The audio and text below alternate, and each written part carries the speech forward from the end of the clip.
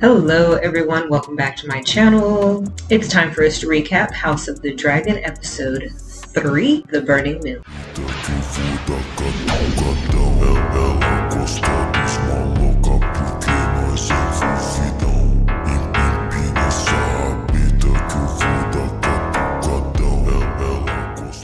Episode 3 opens with a conflict between the Blackwoods and the Brackens. The Blackwoods catch the Brackens moving some boundary stones, and this escalates into the Battle of the Burning Mill. Next, we see Rhaenyra and her people burying the Cargyll? Cargyll twins? I think that's how it's pronounced. Anyway, Rhaenys counsels Rhaenyra, explaining she doesn't believe the Hightowers had a hand in this. She can tell this was the work of young hotheads on a revenge-seeking path, and that soon they'll forget what they were even fighting about. She tries to convince Rhaenyra to speak to Alicent, but Rhaenyra definitely ain't ready to hear that. Sir Criston attends his first meeting as the Hand, where they discuss the Brackens and Blackwood battle. These two houses have feuded for centuries and the fact that they've sided differently when it comes to Rhaenyra and Aegon can't really be seen as the reason for them attacking each other. They do it regardless. But these two houses happen to have the largest armies in the Riverlands, so Aegon wants to declare this an act of war. But his council goes back and forth with him about his stance. They want to send word to Lord Tully, as the Blackwoods and Brackens are his vassals. I learned about vassals while watching Shogun. Look at me learning shit. Criston just wants to dive headfirst into war. I think he's ready to die. And I love that for him. He convinces Aegon this is a great idea as he and Aemond decide to ride along to war, leaving Vhagar to defend the castle, of course. Mysaria wants to stay and become a member of Rhaenyra's court. Rhaenyra sends Rhaena to Pentos, which Rhaena isn't happy about and feels she isn't needed because she doesn't have a dragon.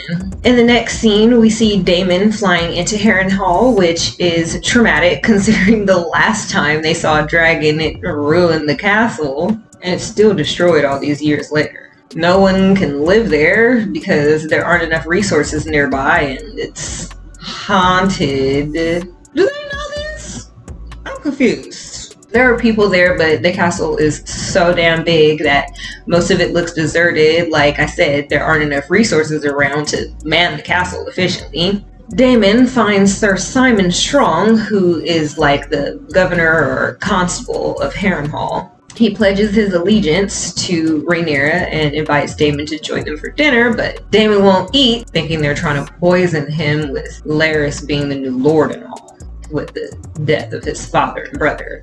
But Simon informs Daemon that they don't claim Larys, and they blame Larys for their deaths. Both sides, blacks and greens, know that they need to control the Riverlands in order to win this thing. Part of that means bringing the Blackwoods and the Brackens onto their side, but again, they hate each other. So Simon points Daemon towards Tully. In the next scene, we're introduced to Sir Gwayne Hightower, Alicent's brother, who immediately wins me over by throwing shade at Criston, with him being the new hand over his dad. Glad to know he doesn't have a friend in Sir Gwayne. Maybe he'll set him up or something. Nervous over not hearing from Daemon, Rhaenyra's council wants to start sending dragons to either turn and burn green strongholds, which is a terrible idea. It's basically like if two nations with nuclear weapons decided to launch them at each other.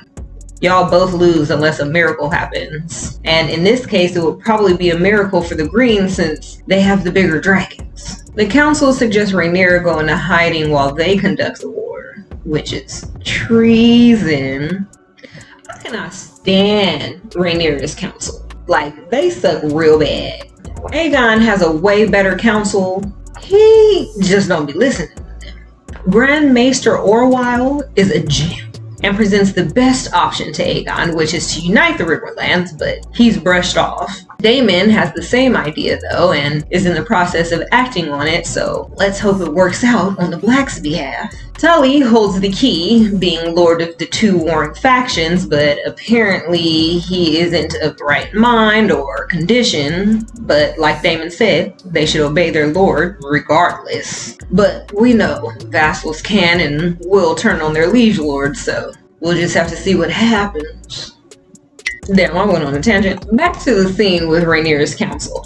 At this point, she has walked away, and Rhaenys warns the council that Rhaenyra wears the crown of King Jaehaerys, who reigned longer than any other Targaryen. Probably because he didn't act on impulse and took time to strategize the way Rhaenyra is trying to. Next, we see Rhaenys take her man some food. Are they the only couple that like each other? I mean, he cheats, but Rhaenys at least seems to love her hubby, bringing him warm bread and broths. How sweet. She was attempting to get Corlys to name Rhaena his new heir to Driftmark. I'm not sure why. Is it because Joffrey isn't Laenor's son or something else? I don't know, but Corlys ain't trying to hear that. I would have snatched my bread back. Everyone at Dragonstone gathers to see Rhaena off with the kids. They also give her a few dragon eggs to take with her. I'm guessing those are the eggs that end up with Daenerys at some point. I don't know. It looked like the same container. Can dragon eggs last hundreds of years? Next, we see Helaena with Alicent. She tells her she's sad for Jaehaerys, but feels guilty for mourning. When commoners probably lose their children at a higher rate than highborn ladies. She then tells her mother that she forgives her. It's implied that she was referring to that night. Aegon is getting dressed up to ride off to war before Lord Larys walks in doing his little wordplay tricks, getting in Aegon's head about rumors he's definitely out here spreading himself.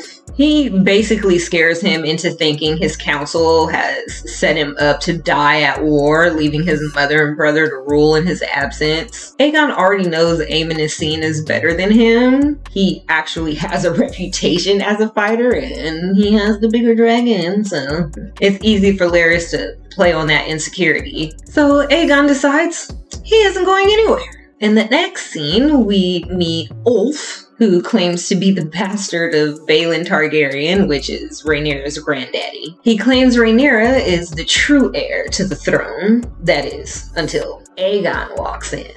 Aegon takes his men to a brothel where he finds his brother laid up with that same sex worker from before. He attempts to humiliate him for being faithful to his working bro. This is actually very common. The folks who utilize sex workers tend to choose the same one. You don't just trust anyone with your life, but you trust any and everybody with your sex organs.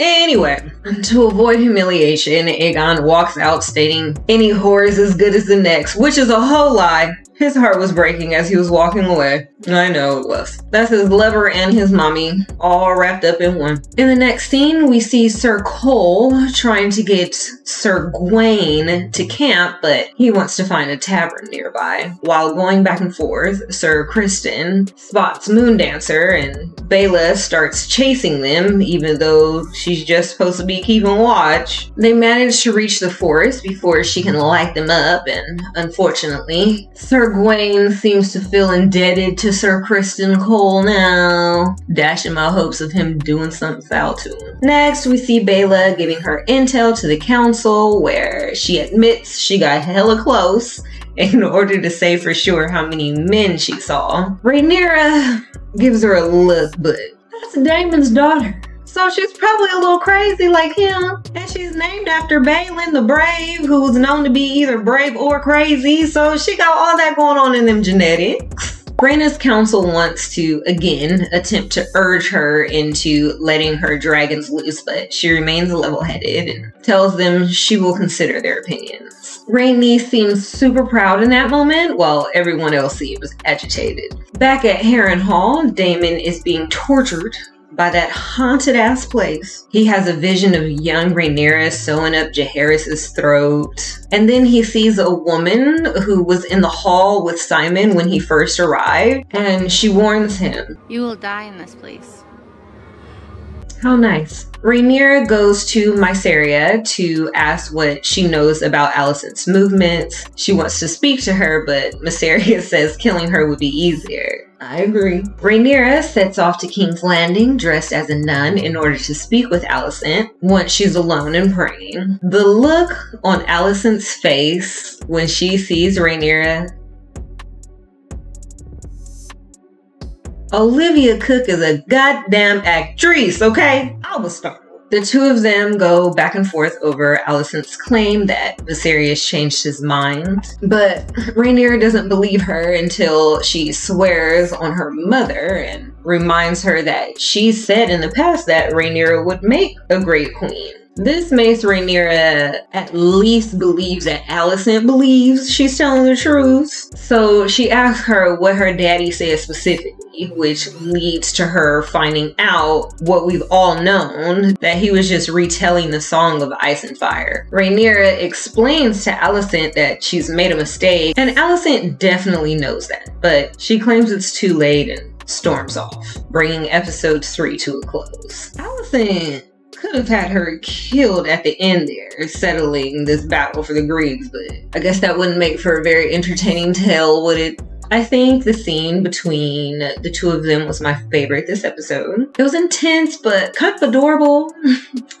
Especially in the beginning when Rhaenyra pulled the knife on Alicent. Allison was like, okay, and then what? Silencing Rhaenyra, who admits that she started wrongly. It reminded me of when they were younger and best friends. You know, under different circumstances, they'd be laughing about this moment.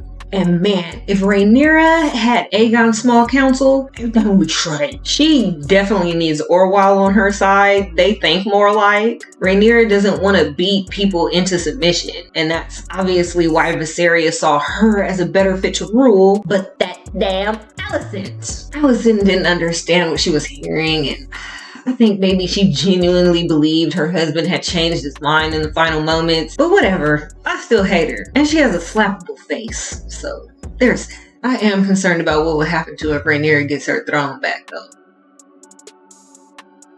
Baela showed a different side of herself this episode. I'm excited to see more of her. Who are you all excited to see more of or get introduced to? I'm guessing we'll see Alicent's youngest son soon. And who's gonna get to Lord Tully first? Leave your guesses and answers in the comments, and I'll see you guys in the next one.